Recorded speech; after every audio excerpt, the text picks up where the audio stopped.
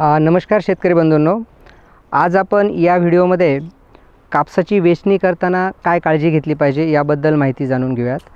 ज्या वेळेला कापसाची वेचणी करायची असते तर एक महत्त्वाची टिप्स म्हणजे सकाळी सकाळी शक्यतो वेचणी करणं टाळलं पाहिजे. कारण जे काही दव पडलेलं असतं त्यामुळे ओला झालेला कापूस त्या ठिकाणी कापसाची प्रत खराब होऊ शकते. त्यामुळे एकदम सकाळी सकाळी न करता ज्यावेळेला स्वच्छ सूर्यप्रकाश पडलेला असेल त्यावेळेला आपण कापसाची वेचणी केली पाहिजे. आणि दुसरी महत्त्वाची गोष्ट अशी की कापसाला ज्या कीड आणि रोगामुळे कापसाची प्रत खराब होत असते तर अशावेळी जो कापूस स्वच्छ दिसतो आहे या ठिकाणी आपण पाहू शकता हा स्वच्छ कापूस हा आपण वेगळ्या पद्धतीनं क वेचला गेला पाहिजे. आणि ज्या कापसाला या ठिकाणी बोंडळी किंवा बोंडसडीमुळे खराब झालेली कापसाची रुई आपल्याला इथे दिसते. तर असा कापूस हा आपण एकत्र न वेचता त्याला वेगळ्या पद्धतीनं वेचला गेला पाहिजे. त्याची वेगळ्या प भागामध्ये आपण विभागणी केली पाहिजे दोन प्रकारामध्ये.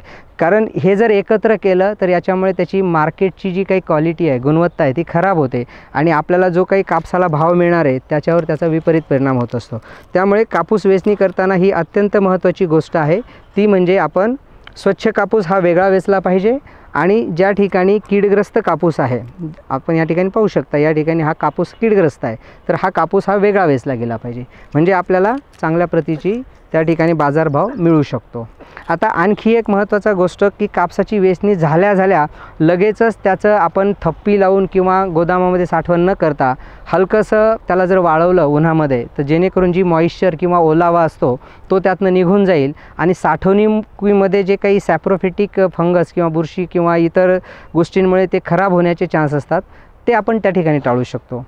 एक आणखी महत्त्वाचा मुद्दा आहे वेचणी करताना की वेचणी करण्याच्या किमान चार पाच दिवस अगोदर कुठल्याही प्रकारची फवारणी करू नये कीटकनाशकांची. कारण काय होतं की त्या कीटकनाशकांमुळे ॲलर्जिक रिॲक्शन जे काही मजूर आहेत शेतमजूर त्यांना ती येऊ शकते विषबाधेसारखी आणि फवारणी केल्यानंतरसुद्धा कापसामध्ये ओलाव्याचं प्रमाण वाढतं त्या फवारणीच्या औषधामुळे. त्यामुळे त्याही गोष्टी आपण टाळल्या पाहिजेत.